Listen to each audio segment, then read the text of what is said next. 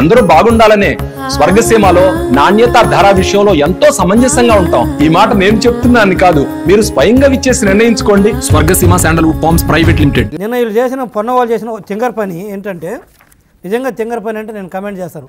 పొన్నవాళ్ళు చేసిన తింగర పని. Page number పదకొండులో ఆయన ఒక గౌతమ్ ఇందాక కూడా చెప్పాను. గౌతమ్ కుందు వర్సెస్ ఈడీ కేసుని ఒకటి రెఫర్ చేశాడు. ఇది మా సారుకు బెయిల్ రాకూడదన్న ఉద్దేశంతో ఈ కేసును రెఫర్ చేశాడు. ఈ కేసును రెఫర్ చేసిండు. ఇది కరెక్ట్ కింద చూస్తే దాంట్లో కూడా హైకోర్టు కూడా ఆ- కేసులో కూడా జగన్మోహన్ రెడ్డి వర్సెస్ సిబిఐ కేసును రిఫర్ చేశారు.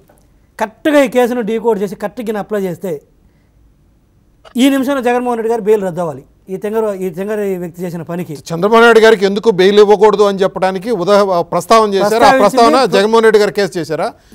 ఇలాంటి వాళ్ళకి బెయిల్ ఇవ్వకూడదని జగన్మోహన్ రెడ్డి గారి కేసు విషయంలో వాదించిందని ఇక్కడ తీసుకొచ్చారు. సార్ సీఎం గారు జగన్మోహన్ రెడ్డి గారు మీ తింగర వ్యక్తి చేసిన పనికి మీకు బెయిల్ రద్దు అవుతుంది. మీ పొన్నవాళ్ళు చేసిన పనికి.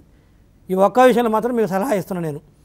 దో ఐఎమ్ అన్సలిసిటెడ్ అడ్వైజ్ అయినప్పటికి కూడా సీఎం గారు అంత తింగర పని చేశాడు. మీ పొన్నవాళ్ళు గారు చూసుకోండి. అతన్ని మారుస్తారో లేకపోతే కొంచెం మళ్ళీ ప్రక్కన ఎవరైనా కరెక్ట్ వ్యక్తిని పెట్టుకుని చూసుకోండి. ఇది మీ మీ మీ మెడకు చుట్టుకునే కేసులా ఇది. ఆయన రిఫర్ చేశాడు.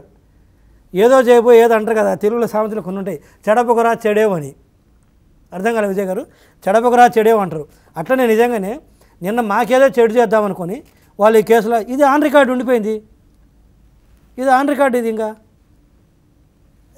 అంటే మనము అంటారు విజయ్ గారు మీరు ఆ కేసుల సందర్భంగా ఉదహరించిన అంశాలు చాలా ప్రస్తావించారు. సుప్రీంకోర్టు కూడా అప్పట్లో ఇది అసలు అత్యంత తీవ్రమైన ఒక ఆర్థిక నేరం.